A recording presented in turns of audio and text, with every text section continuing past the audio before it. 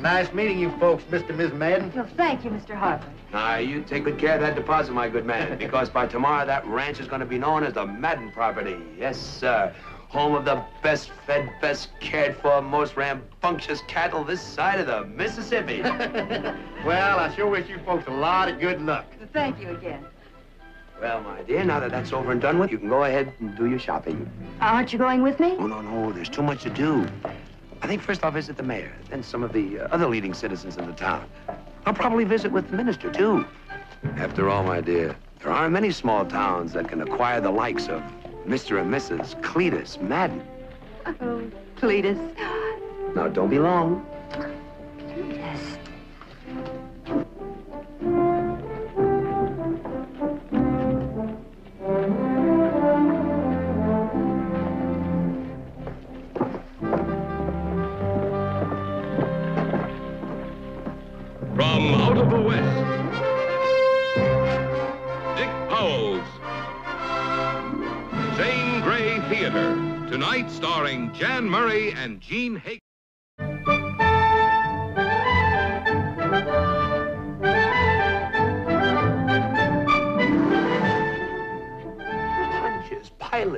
Pilots, parasol, Mr. Harriman. I said to him, you get that railroad, get him right out there between those tall, towering timbers, and I guarantee you a fortune sure as my name's Cletus Madden.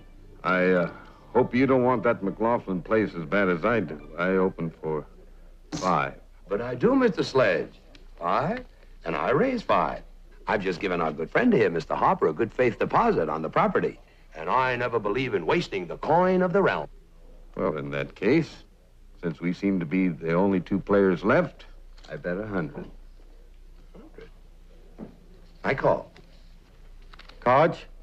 I play these. Two handsome ones, if you please. How much do you have in front of you, Miss Madden? $35, Mr. Sledge. That's my bet.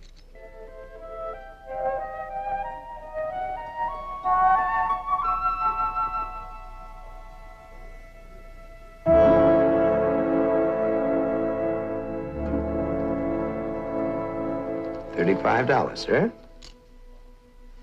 And I raised 500.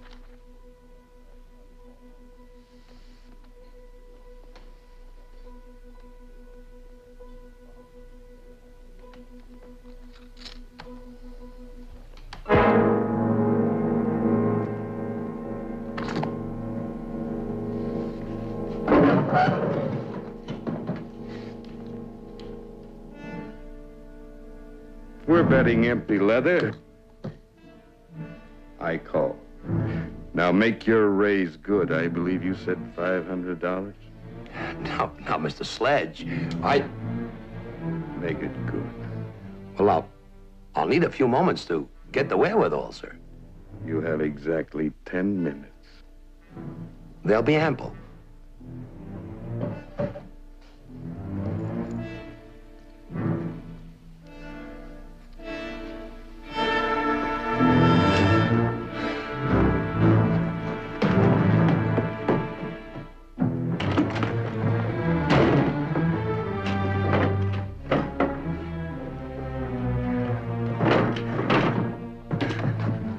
Hello, dearest. Back from shopping so soon? Oh, Cletus, I couldn't resist it. I went back to the ranch instead. Oh, it's so beautiful. Oh, in a ramshackle sort of a way. Oh, not the way we'll make it, with tall trees and cows grazing in the pasture. The best fed, best cared for, most rambunctious cattle this side of the Mississippi. Oh, eh. Just think in a few short hours, you'll be the proud mistress of the McLaughlin Ranch. The Madden Ranch. And we'll be a thousand miles away from St. Louis and Father. Would you feel safer if I took the rest of Papa's money and put it in the bank? Oh, it's quite safe. Besides, the auction's only a few hours off. Just as you say. Cletus, you do want the ranch as much as I do. Man, you're looking at the new Cletus Madden. Frugal, diligent, rancher extraordinaire. Huh? What's this? Why, the baguette's loose. There's a jeweler down the street. I'll have it fixed in a jiffy. You put on your prettiest bonnet, because Cletus Madden is going to take the prettiest lady to the prettiest lunch in the prettiest town in this whole wide world. oh, darling, sometimes I think you're crazy. But I'm awfully glad I married you. so am I.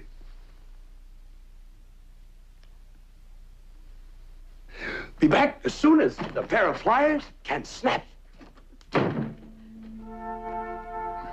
I'm a single man, Mr. Madden, and I'm not courting. I have no use for your ring. But it's worth a thousand easily. I can see it is, but Look, Mr. Bain, let me put it this way. I need the 500 to back a poker hand. I'll buy it right back for 600. suppose you lose. Mr. Bain, I'm holding a full house.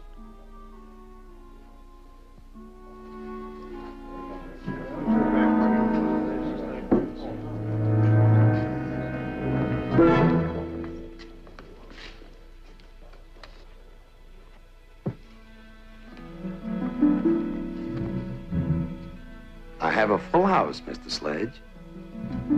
So have I.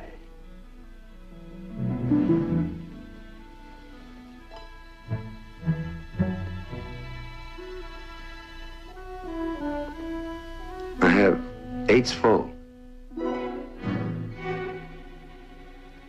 Sixes. Well, now, Mr. Harper, you didn't think I was going to lose that hand, did you? I think you're a fancy-mouthed fake. A bag of wind with a hole in it. Now, now, sportsmanship, Mr. Sledge. Sportsmanship. Now, Mr. Harper, did you say the auction was today at 2 o'clock? Right here. I'd forget about that auction if I were you, Mr. Loudmouth. I want that land, and I'm gonna have it. And heaven help the man who gets in my way.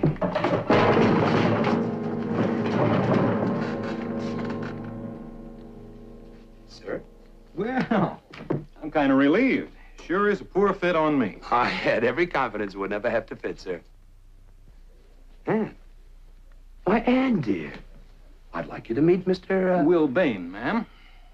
Mr. Bain is our town jeweler. And Isn't it wonderful to see such fine workmanship in this primeval wilderness? See, Anne? That setting is now rock firm. Thank you for your help, Mr. Bain. I'm afraid my wife's a bit upset. Women will misunderstand. Good day. I knew I had the winning hand. I knew we needed more money. It was my only chance to get it. And I, I knew what it would mean to you if Sledge outbid us. This morning at the ranch, I thought, this is the kind of world Cletus needs. Big like he is, big enough for his dreams. And there won't be any more lies or tricks because he won't need them. I wish I could believe you, Cletus. And you can believe me. See? Please don't look like that. This time I mean it. I really mean it. You always mean it. And I always believe you. When you walked into Papa's store that first time, I believed you. You had those flowers, the ones that were going to last forever. But there was a hot spell. They all melted. You talked Papa into buying all I had left. those windows were a mess. All those wax flowers. Papa didn't dare walk down Market Street for a week.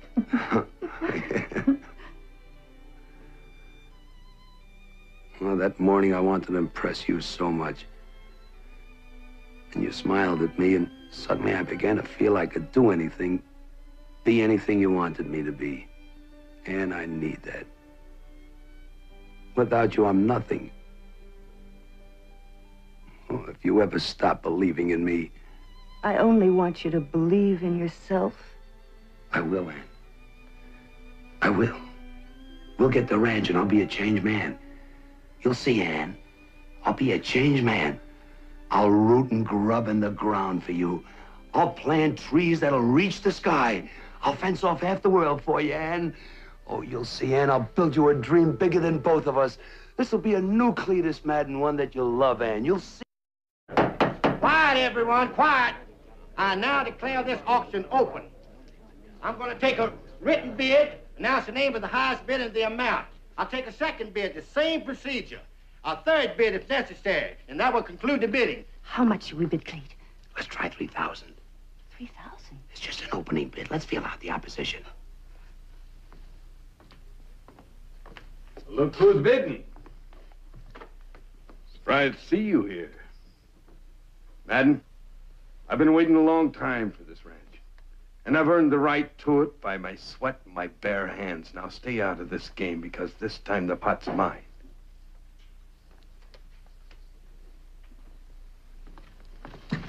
None of my business, Mr. Madden, but I thought I ought to tell you. Sledge is a bitter man. He usually gets what he wants.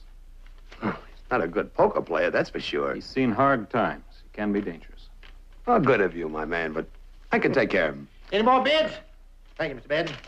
I have bids for Mr. Hammond, Mr. Sledge, Mr. Hill, Mr. Bean, Mr. Whitson, and Mr. Madden. The high bidder to Mr. Sledge, $4,500.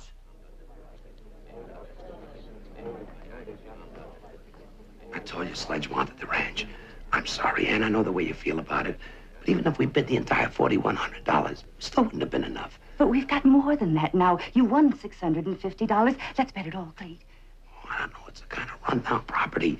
It's going to take some cash to turn a profit after such a large investment. Mr. Sledge seems to think it's worth it. But we're not ranchers like Sledge.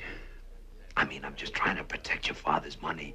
We do have to repay the loan. We will. All it takes is a little more hard work than we planned. All right. All right. We'll put up all we've got. Say a prayer. Any further second bids? I have offers from Mr. Bain and Mr. Sledge. Well, little woman gonna let you bid again? Seems like to me he's wasting a lot of shoe leather. The highest bid is now Mr. Madden, $4,750. This ain't barroom poker, friend. You're gonna have to do a lot better than that.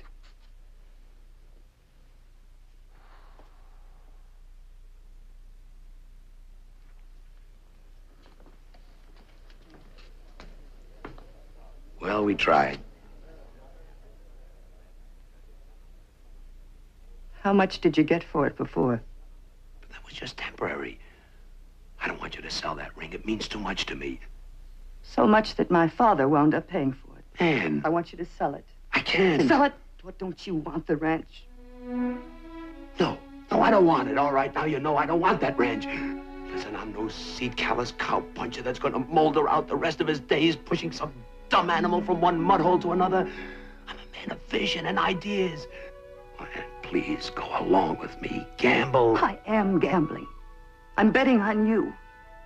I've watched you back playing cards and horses and stock deals. I've watched you gamble on anything. Anything but yourself.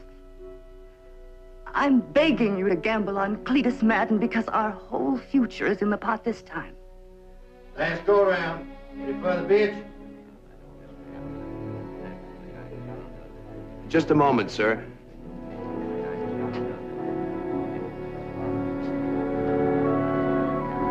Gentlemen, may I have your attention? Unfortunately, my bankers in the East have been delinquent in remitting the proper funds. Proper fun. well, in the circumstances, I, I'm forced to part with a valuable heirloom. Heirloom. Well, I don't want to waste your time, gentlemen, but I have this ring. It looks like a lady's ring. Maybe you ought to be a jeweler instead of a rancher. I thought perhaps one of you gentlemen.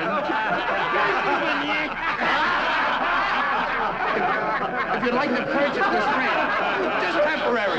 Just tap until my, until my bankers will call me. His bankers will call him.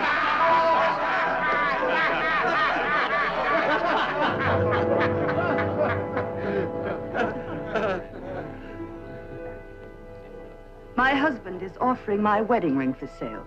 Will any of you gentlemen give us $500 for it? I'll give you 600 for it, ma'am. You stay out of this, Bain. Mr. Harper, I intend making no further bid.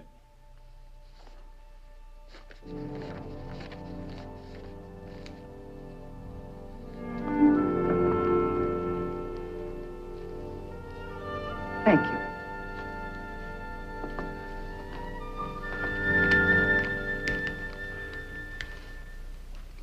We bid five thousand three hundred and fifty dollars. Uh, you'll have to make that a written bid. No, he won't. I can't go no higher. It's his. Well, in that case, the McLaughlin Ranch is sold to Mr. Cletus Madden for $5,350. You may own that ranch now, but I'll end up with it. Oh, I've known your kind of man before. Talkers. All mouth, no innards. And that McLaughlin place represents a lot of work. And you'll never be able to stand the pace. That ranch will be up for sale inside of a year. He's lying. Tell him, please. Tell him. Go ahead. Tell me.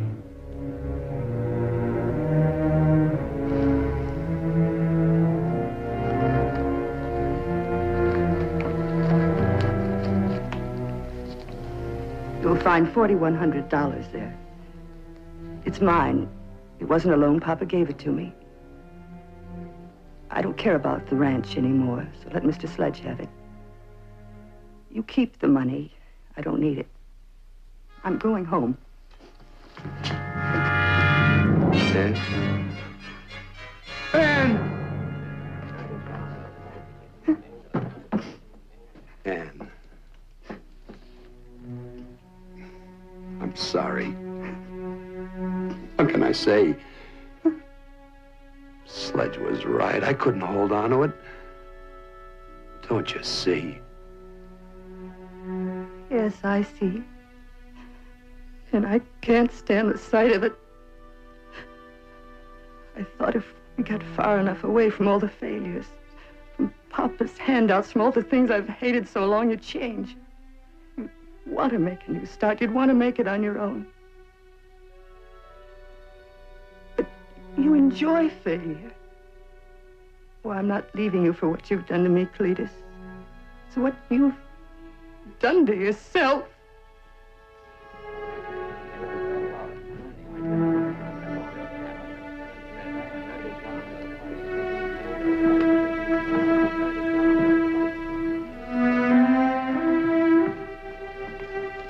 Uh, Mr. Madden, you got yourself a good ranch.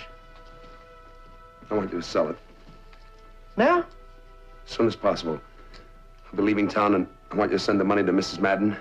Uh, care of Mr. Joseph Parkhurst, Market Street, St. Louis.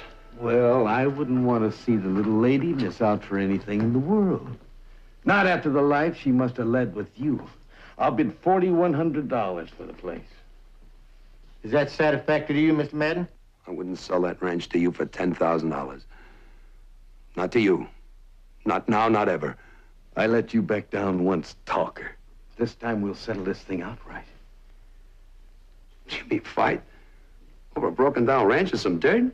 I mean this time no empty leather. I can't handle a gun.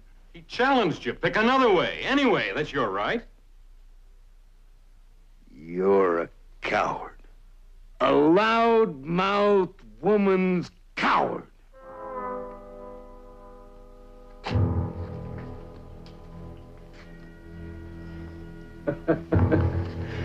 Gentlemen, I have a ring. very valuable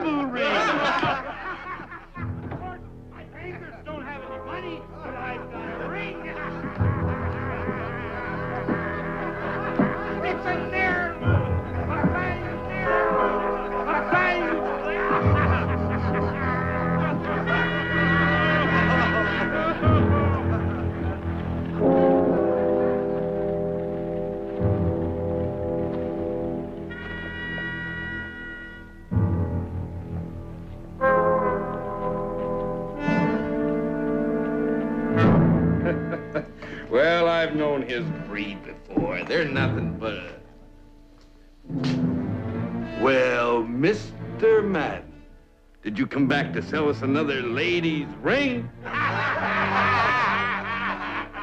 came back to fight. Would you mind repeating that? I said I'll fight you. Oh, you'll fight me. What with? Something you're good at, like Words at 20 paces? Guns. What range? Six miles? Six feet. And only one of the guns loaded. Well, that ain't a fight, mister. That's 50-50 suicide. It's a gamble. You insist on picking the fight, he's got the right to pick the way. Of course, you could call it off. That's right, Sledge. One of us is a loud-mouthed woman's coward. All right.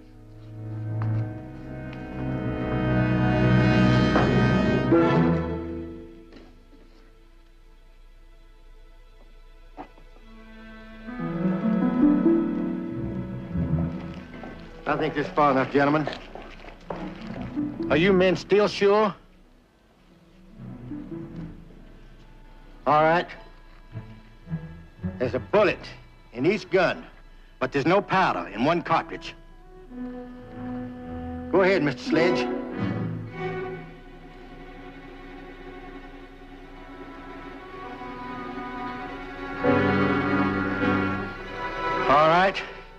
At the count of three, gentlemen.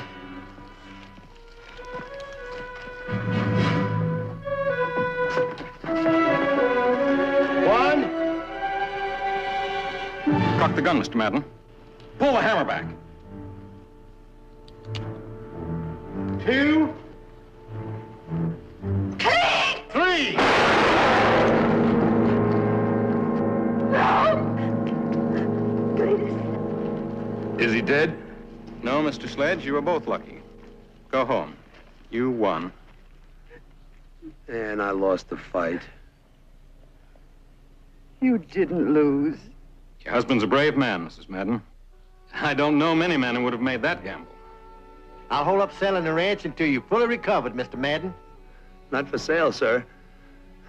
Ranch is not for sale. I'm gonna build. I'm gonna try it. I'm gonna do the best I can. Why, honey? You and I, we're gonna raise the best fed, best cared for, most rambunctious cattle this side of the Mississippi.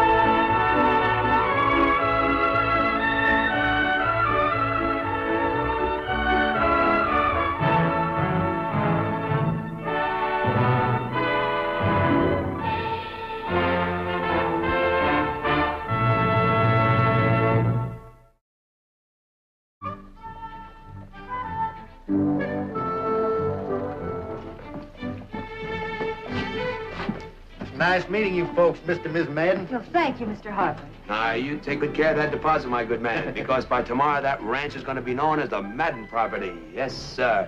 Home of the best fed, best cared for, most rambunctious cattle this side of the Mississippi. well, I sure wish you folks a lot of good luck. Thank you again.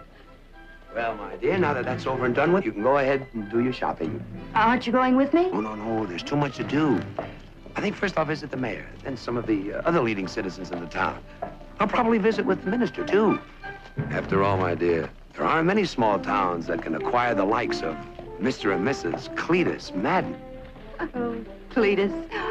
Now, don't be long.